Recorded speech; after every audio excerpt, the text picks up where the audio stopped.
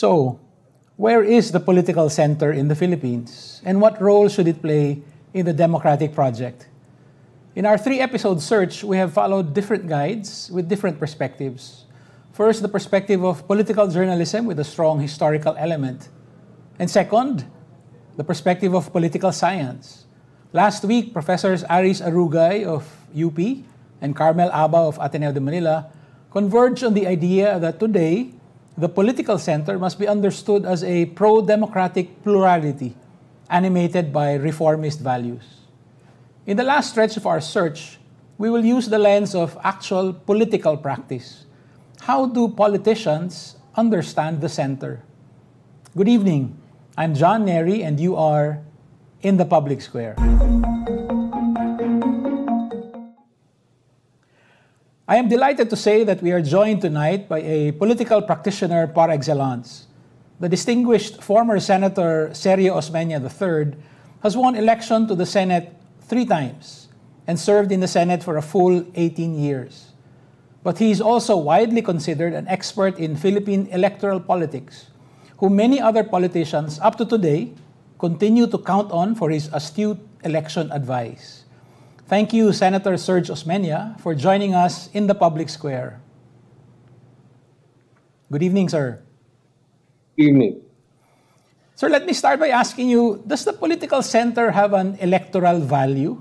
Do you win national elections if you appeal to the center in the Philippines? I do not know what you mean by center.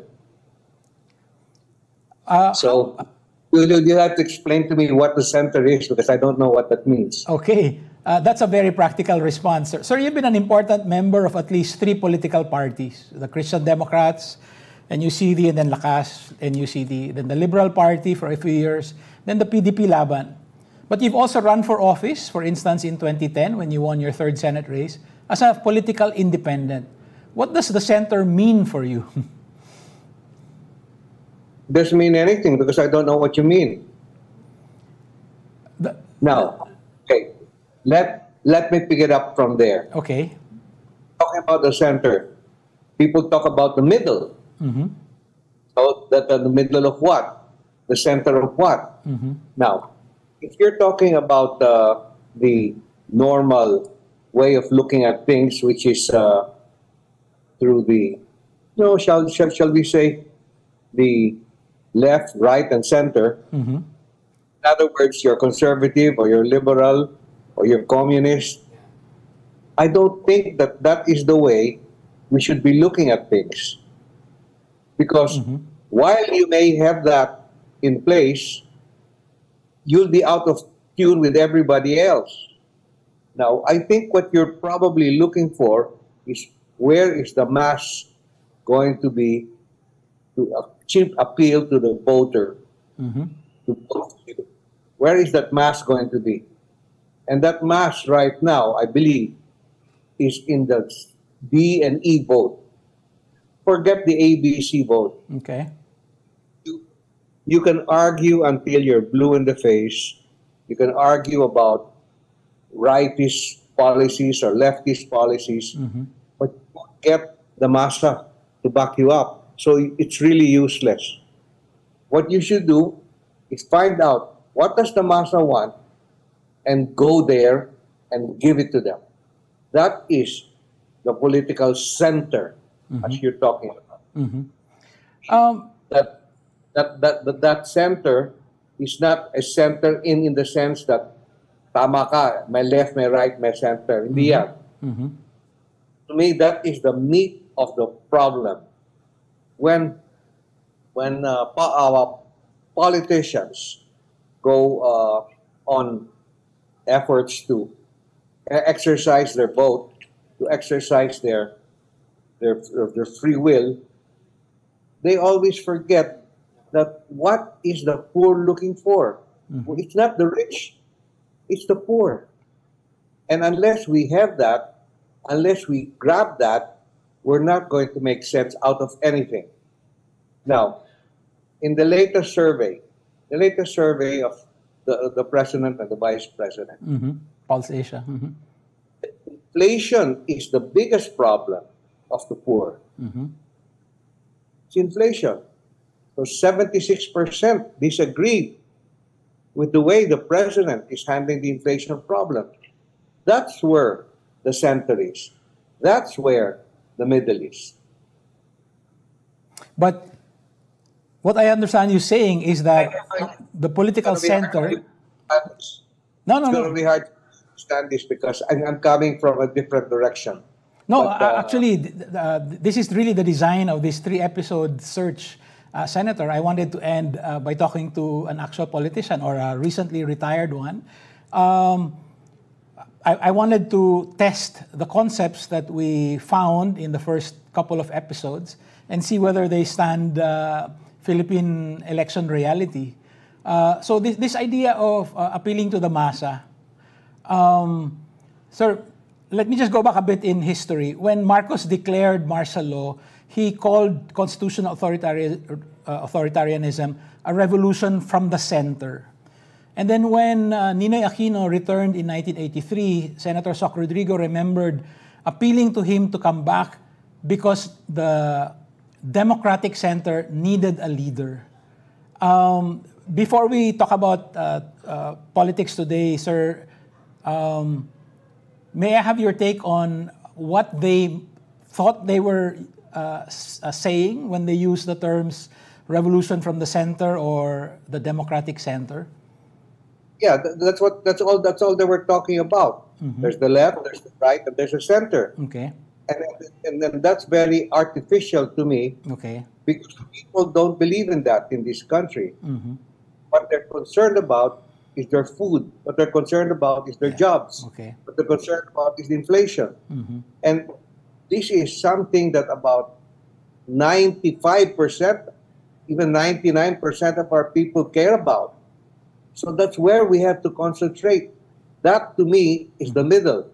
That is the, call it the center. That is the center to me. All right.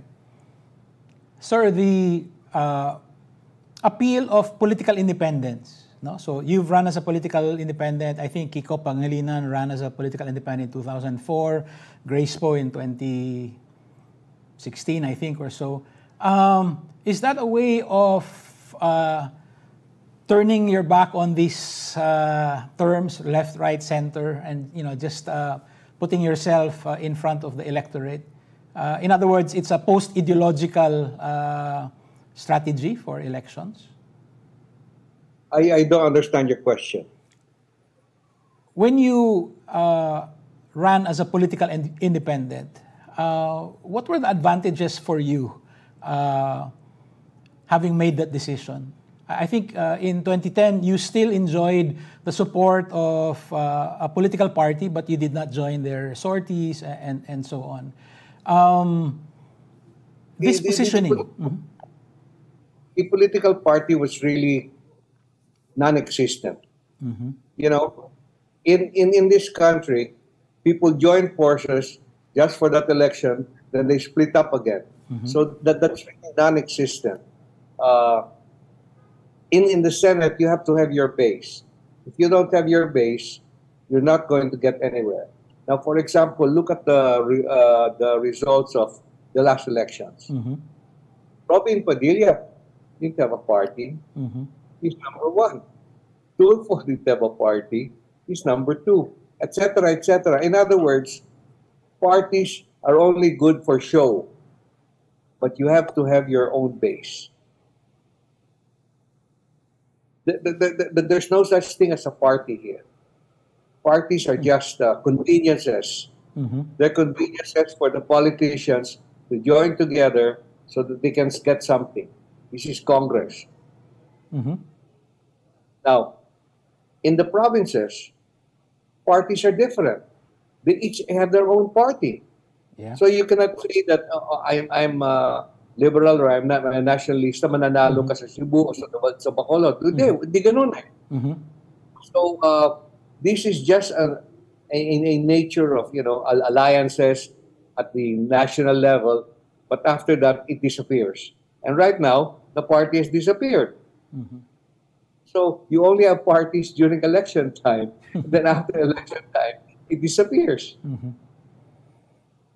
So the, the concept of uh, left, right, center, uh, should we have a better appreciation for this or uh, that's really the Philippine reality? No? Uh, No. I have an appreciation for the left, right, and center. That's there's no doubt about that. That goes on all over the world. In England, you have the conservatives, and you have the liberals, and you have the Labour Party. In the United States, you've got the Democrats and the Republicans. So that's natural. But in this country, that is not natural anymore because we have corrupted the system so much that, you know, when you're in Congress, maghati-hati lang kayo dyan sa pork barrel. That's right. And that, that's all they care about. They want to make hati-hati the pork barrel. And they want to win in their districts. And that's it. And we're not going to have that anywhere solving our problems. Two weeks ago, we had uh, Manolo Quezon uh, join us, and he suggested that Marcos learned something important from Richard Nixon, which is appealing to a silent majority. Uh, uh, Nixon won uh, re-election uh, despite the Watergate scandal by appealing to this silent majority of Americans who were disgusted by the Vietnam War protests, by the 60s uh, counterculture, and, and so on. And Quezon suggested that Marcos learned from Nixon uh, and essentially for the first 10 years or so of martial law, that was the base of support for Marcos as dictator, the silent majority of Filipinos. Uh, and for him, for Quezon, that was the Philippine center at the time. Uh, would you agree with that uh, perspective, sir? I still didn't understand half your question, so I can't under uh, I can't comment on it. Let, let you me, like yeah, let me rephrase that. Uh, Marcos learned the concept of a silent majority uh, from Nixon. And Marcos part of a silent majority? yes, the, the- Well, he, he can pretend to do a lot of things. So Mm-hmm. uh, this is one of his pretensions. There's no silent majority. there is no silent majority in the Philippines, sir. Um, No, no, there's no silent majority. They're all noisy, except that when, when, when, when they make noise, iba-iba. Uh, but uh, there is no silent majority. By silent, I mean that they agree with you and disagree with you, mm-hmm. and they're silent. I doubt that. I doubt that very much. Now, the, the majority in the Philippines today seems to be okay with the way Marcos is running things. Mm-hmm. So that's fine. But still, if you're looking for the center, I don't know where, where that is. Mm-hmm. Iba eh, ibang kon, ibang klase. yes. I'm trying to square his idea of the silent majority uh, with your idea that essentially the center is uh, the masa. No? I mean that, and right now we're looking at uh, classes D and E, right? Uh, so I'm trying to, to see whether you- you're talking about the same thing but from different aspects or they're No. different things altogether. Senator, law was difficult for you personally. You spent several years in jail. But there was very little dissent at that time in 1972 and uh, essentially through the 1970s. Would it be fair to characterize the public opinion at the time as supportive of Marcos? Yeah, well, you know, what happened there was that the majority of our people, you, you, you know, we, we you, you, you, you cannot say that they're active. They're not active. That's right. If our people just tend to take things as they are. So, okay lang yan. Papahala na, etc., etc. But that doesn't hide, that doesn't cover what they really feel inside. Now, if they had a way, they would show it, but they have no way. So what we have to do is make sure that they can find a way to show their feelings, to show their, um, shall shall we say, reaction Mm-hmm. to the to the various uh, movements that uh, the government wants or, or or any politician wants. But you cannot say that uh, because the majority of the people did nothing, they were in agreement. They were not in agreement. Mm-hmm. As a matter of fact, um, in, look, du- during the time of martial law, even even now, uh, nowadays, you, you you come out with one or two good things, Mhm. and then you blow it up.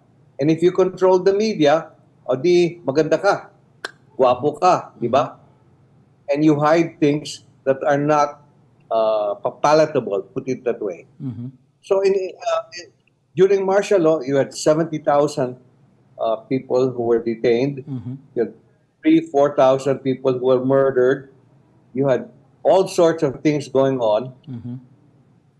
That doesn't mean the people were uh, ag- agree in agreement with that. Mm-hmm.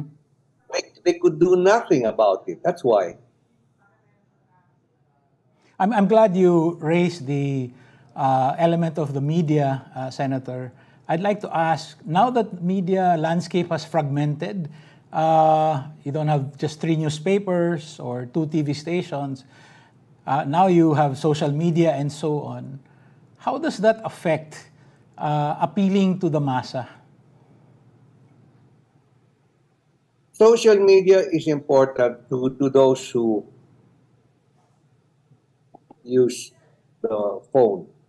Mm-hmm. But those who don't use the phone, and many, uh, I think about 40% of our people don't use phones, and even the 30%, I mean, of the 70% who use phones, Mm-hmm.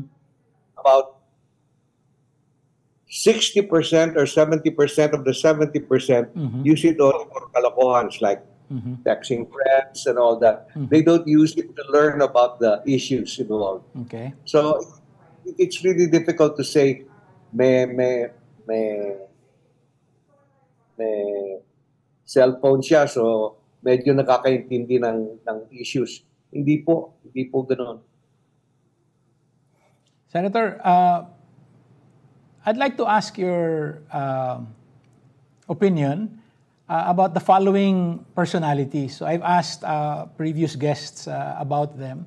Um, can you classify them whether uh, uh, along the pol- political spectrum, left, right, center, or uh, as people with the right combination that will appeal? I, I wanted to find out if these people are able to appeal to a national base of support. No, so, for instance, uh, Senator Risa Hontiveros. I'll start with her. She's the first of five. I'd like to ask you about. Uh, how would you classify her, sir? Um, and the- sorry. She's fantastic. Okay, that, that wasn't in my uh, uh, categories, but yes. Um, so the, the fact, sir, that she's able to work across the, uh, the aisles, so to speak, uh, even though belonging to a very small minority, uh, being like you, a very productive senator, um, would that help uh, us understand the concept of somebody who bridges different uh, uh, sectors and appeals to as many people as possible. Is that what uh, Senator Risa is? Uh, the fact that she's able to work even with uh, the administration and come up with uh, actual laws, despite being in a very small minority. This ability to work across aisles. Um, is that something that appeals to the massa, do you think? Okay. I'm telling you something. The massa doesn't know what happens in the Senate. Okay. The massa doesn't know what happens in the House. Mhm. So I, I, I don't know how to answer that. Okay. No, that's a that's an answer in itself. Those who know about Risa, Mhm. I think most people approve of Risa. Mhm.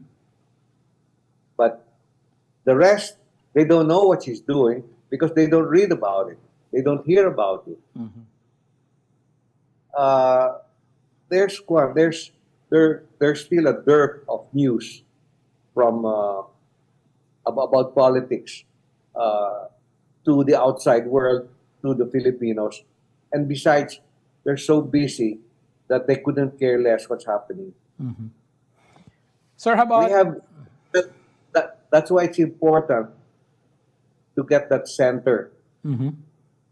if you get that center where it hits them hard then you'll get their attention Sir, how about Stella Quimbo? I mean, uh, as you said, nobody really pays attention to what's happening in the House. So uh, she's been a controversial figure uh, among certain circles because she was an opposition politician uh, just uh, a few months ago, or last year rather. And now she has been defending both the Maharlika Investment Fund and also Vice President Sara Duterte's confidential funds um, she said that she's actually thinking of running for mayor in the next election to succeed the current mayor of Marikina. This positioning, this defense of the Maharlika Fund and then of uh, Sara Duterte's confidential funds, will it hurt her if she ran for mayor or will it hurt her if she changed her mind and decided to run for, let's say, Senate? it won't hurt her, won't hurt her at all because the issues in Marikina are local issues Okay, so it won't hurt her one bit not one bit. now yeah but you know uh, she's come down a lot because from being a principal player Mhm. she turned around and then supported the Ma- uh, the Maharlika bill, and, and I, I don't agree with that, and Mhm. I, I I I think that she made a mistake. Thank you. Sir, uh, former Undersecretary Shelo Magno, right? Uh, very few people know her uh, outside, you know, the circles of power, but uh, she was uh, removed from office because she criticized the uh, price ceiling on rice, right? Um, I was struck by the uh, conflicting views about her outspokenness. Some people welcomed it and said, uh, that's right, she should have uh, spoken what was her true feelings and then resigned. But some people have also criticized her for criticizing the administration while she was still a part of it. My question for you, sir, is, itong ganitong klasing political behavior, may may relevance ba for you know the masa uh, voter? Uh, ang tingin ba nila trinaydor yung administration or they don't even think about this? You know, the massa doesn't pay attention to these things. It's us, the in- intelligent ones and the ones in Manila, where where we pay attention to it. And uh, Miss Magno was very very sharp in pointing out that the law of supply and demand Mhm. Still the law of supply and demand, no matter how many times you try to repeal it. That's right. And, and because she said that, she was fired. And she was fired in the most obtuse way. You know, they just said, you're fired. And uh, that that's not good. Now, does the massa hear that? No, the massa doesn't hear that. The massa doesn't hear about these things. But to us, who are observers of the Philippine scene and the Manila scene, Mhm. uh, we admire Miss Miss Mag- Magna for doing what she did. Thank you, sir. Sir, fourth out of uh, five personalities, Edsel Lagman. Ed, uh, Congressman Lagman uh, uh, famously defended uh, President GMA from her first impeachment uh, threat with his set of prejudicial questions. Over the years, he's uh, moved uh, left of center or leftward. Uh, now he's president of the Liberal Party. Um, where would you place uh, Congressman Lagman on the political spectrum and then in relation to the massa voter? Well, uh, I, no, not in relation to the massa voters. In just relation to the political spectrum, he's left of center. Mhm. It's not in relation to the massa voters because the massa voters don't care whether you're right, left, or center. What does That's the that's that's the truth. A massa doesn't care whether you're left, right, or center. what do they care about, sir? So you said today one of the uh, main problems is inflation. So they they care about high prices. Okay. Does the basket of values change uh, over time? For instance, Duterte became president because people really thought there was a peace and order uh, threat. I don't understand again your question. Would you repeat that? Yeah, n- no problem at all, sir. So, so uh, you talked about the massa voter uh, not really paying attention to you know uh, political ideology or even particular positions. Uh, but you did say earlier that uh, we should pay attention to what they're saying about, for instance, inflation. So right now, the surveys say that's their most pressing uh, concern. Um, this this basket of pressing concerns, um, do they change over time or do they remain the same, sir? It's always jobs, uh, inflation, and so on. It's the same. It's the same for the past 50 years. Jobs, inflation. And we have not done anything about it. Now, what happens next, I don't know. Sir, let, let me test your idea about the political center ap- appealing to the massa voter by taking a look at the uh, 2016 results. So Duterte won the presidency with a little over 39% of the vote. And he ran for office uh, based on a peace and, a peace and order uh, platform uh, anti drugs, anti crime, and so on. Can we say that in 2016 that new that uh, new value was added to the basket, uh, peace and order, or Yes. or he or he did not represent the political center at all? No, he didn't. He, he was representing the political center, which is peace and order. Okay. Now you see, he he became popular during his term because people could feel safely, could could feel that they could safely walk home from work at the end of the day kasi wala na yung mga standby na gangs in Dundan. That was very, very big. That was very big in, in, in, in the, the Duterte Plus. So it was a it, it was a center, but it, it had nothing to do with. But nobody else was trying to solve it. Nobody was trying to solve the jobs problem. Nobody was trying to solve the inflation problem. But the peace and order problem, Duterte solved it temporarily. Last uh, personality, uh, sir, um, Ferdinand Marcos Jr. You said earlier that uh, maybe that is where the political center is today. If you define the political center as that's where most of the massa voters are. Is And- Marcos the political center?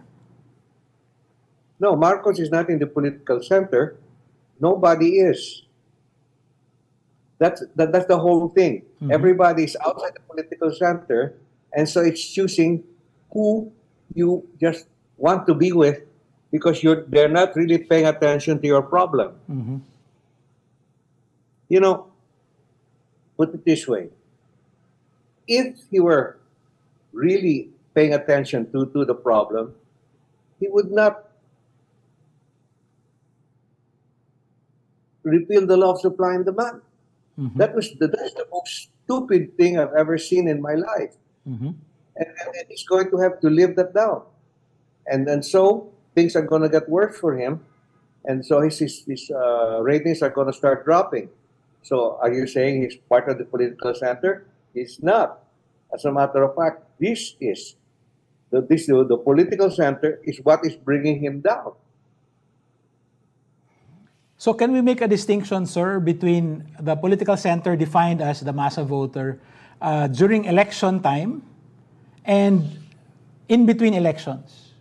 So in No. 2022, uh, a, a year and a few months ago, uh, he was able to tap or appeal to the political center. Uh, and we had a majority mandate for the first time in 36 years. Uh, but right now, while governing, uh, he has obviously lost some support. Uh, so he would not be appealing to the political center. Is, can we make those distinctions, sir? Uh, election time and in between elections? No, no, he, he did not appeal to the political center. Marcos had 33% of the vote. Sara had another 33% of the vote. Together, they got 66% or so. Mhm. Now, Sara's vote came from her father, not because of her. Mhm. All right? It came from the father. So, having said that, they both won. Uh, what you call it? Leni only got about 30% of the vote. But still, that is not the center. Just because they won, that's not the center of the, the, the political spectrum. Mhm. Because if somebody else had come in and talked about inflation and talked about uh, jobs, they would be thrown out the window. But nobody was doing that. So eh, eh, eh, everybody was uh, just saying their own thing. Even Marcos did, did make any promises during the campaign. Well, He except didn't make any, he didn't make any promises. except for the 20 peso rice uh, and also the general sense of unity. This this appeal to unity, I thought. the, the, the 20 peso rice hit the inflation problem on the head. That's it. but he, he couldn't deliver. Why? Because it's impossible to deliver 20 peso rice. Maybe third, uh, 30 peso rice, pwede, but not 20 peso rice. Sir, how can we improve our democracy then? Uh, if the same problems uh, remain the last 50 years, so there's no real progress there. what you're doing, what you're doing is a good thing. We just keep on debating this until we can find a way to bring our ideas together. Uh, it's difficult in this country because people say one thing and then when they get to Congress, they do another thing. So how on earth are you going to able to fill the fulfill the promises you made because they're doing other things? uh, we had to get rid of Congress, but that's impossible. so I, I, I- I don't know the answer to that now at, at, at this time. Okay. Do you think that as a constituency, sir, uh, uh, abol- uh, abolition of Congress, do you think do you think that will appeal to the Filipino voter? Polish Congress? Yeah. Do you think? I, I think if somebody stands up and says, let's just abolish Congress, I, I, I think uh, about 50, 60% will agree with that. so, look, Mhm. naghahati-hatian nila yung pork barrel ngayon. Mhm. The pork barrel is about 10 to 20 percent of our our uh,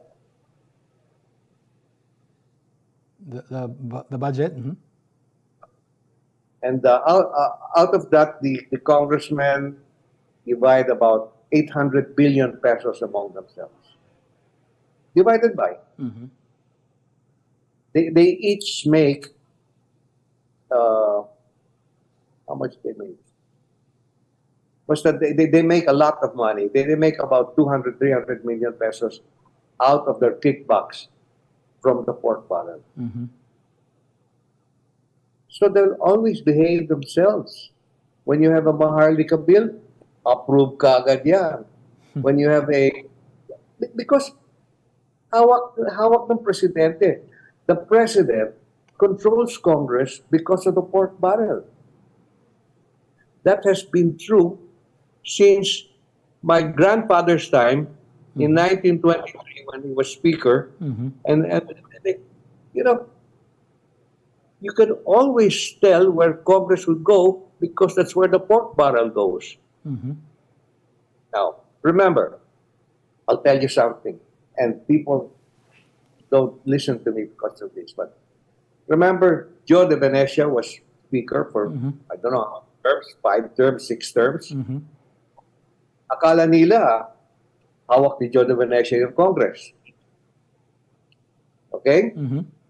son came out and testified against Mike Arroyo. And Gloria just gave the order quietly, changed Joe Venecia. Mhm. Now, in the Senate, the reporters were all coming to me and they said, Sir, ilang boto makukuha ni Joe Venecia kay Juan? I said, you can count on your two fingers the amount of votes he'll get. He said, Sir, hindi pwede yan. Mhm. Magiging yan. Nope. You cannot, you cannot say that. You can count on your two fingers the amount of votes he will get. He got six. he lost the speakership to Bo- uh, Nogi Nograles. That's right. Mhm. But but that's because he crossed Gloria, that's all. In other words, the president controls Congress. And right now, the president even controls the Senate. So it's useless to be there. Is it in fact So is it in fact useless, sir? uh, you, you spoke, for instance, of the work, uh, the fantastic work of Risa Ontiveros. She's in the Senate. I, we need her there. Um, Yeah. But she's alone. Yeah, one, yeah, one, of uh, minority of two. Um, so, sir, um, we've been talking essentially of the elitist nature of our politics, which, but which is determined by an appeal to the massa voter. Essentially, that's it. So you have somebody like Robin Padilla, who is part of the elite because of his popularity through entertainment, his, his uh, decades of work in show business. He's part of the elite, even if maybe some intellectuals will not classify him as elite because, you know, he didn't go to the right schools and that sort of thing. But in terms of power, he's part of the elite. And then he appeals to the massa voter. So essentially, that's the formula. You get celebrity, and then you somehow appeal to the massa voter by pushing some of the buttons involving inflation, peace and order, jobs. That's a very bleak description of our current political system. Sir, I know it's very a, weak mm-hmm. Go ahead, sir. because we have never, never ever come together and say this is where we will be and this is where we're going to be 10 years from now, 20 years from now. In other words, we'll, we will be here today, but tomorrow it's another thing, you know. Mhm. So it's always like that, that the, the, the, the electorate has gotten used to that already. Mhm. Now, there are election to, to, to the Senate is a, uh, is, is a rather very painful process. Mhm. Before, Senate was elected by groups. So you That's had right. liberal and communist, no? That's right. The liberals nominated eight senators, Mhm. and the nationalists nominated eight senators. That's right. eight senators nominated by the liberals were more or less chosen, particularly for their balance, for their whatnot. That's right. And, ah, but when in 1959, when Rogelio de la Rosa ran for the Senate Mhm. as an independent and won, that changed the, the Senate structure. Mhm. Pretty soon, people say, "Oh, I don't need the, uh, you don't need the party. I just need to be able to appeal to the to, to, to the voters." Mhm. And so that's how it started from there. And so right right now, there's nothing that, that you can do about the Senate because uh, before, when people were chosen on the basis of their their ability, Mhm. now anybody who wants to run can just go on, on, on TV and say, "Oh, by the way, I I, I played uh, so and so in this movie, Mhm. and and so I'm going to be like that guy."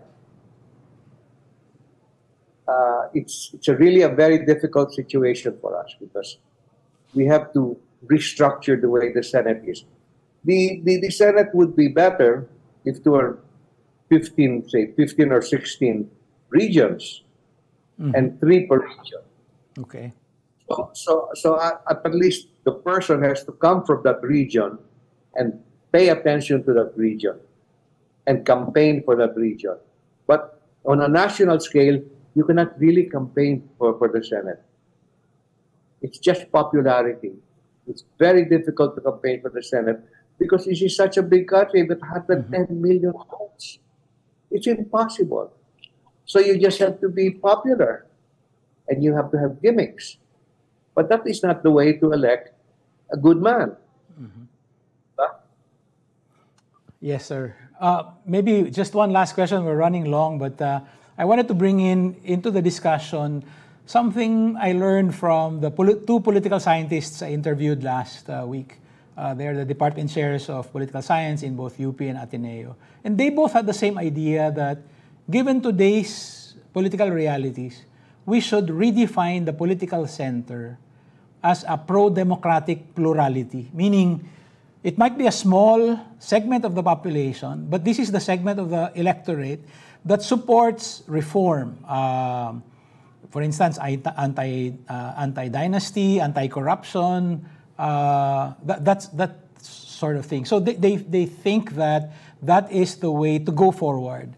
Sir, uh, as a politician and knowing many other politicians uh, with a much more pragmatic view of how it really happens in the Philippines, is there any chance at all that a political center like this, like an aspirational center, no, uh, puro mga reformists and so on, can actually uh, take off? No, I, I, I don't think on on you on what you said on that basis. Uh, I don't think a center will actually take off. The center must come from where it actually is, which is inflation and jobs. And if, when you get that, if you can capture that, then you're going, then, then you're on your way to victory. But aside from that, it's just sulat sa tubig. Hmm. You know, you just uh, go out there and say something, and then if it doesn't work, oh, you say another thing. If it doesn't work, you say another thing. And it, it, it's got nothing to do with belief. Unfortunately, that's the way our, our, our country has developed, and, uh, that's the way we will be until somebody finds the solution that you're looking for. Thank you, Senator Serge. This was a deeply informative and also thought provoking conversation. Uh, I see now why, even today, many politicians continue to go to you for election advice. Uh, just the facts. Again, many thanks, Senator Serge. Thank you.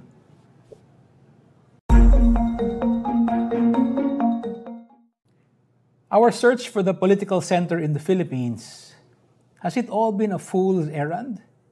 Or, sorry, sorry, sorry.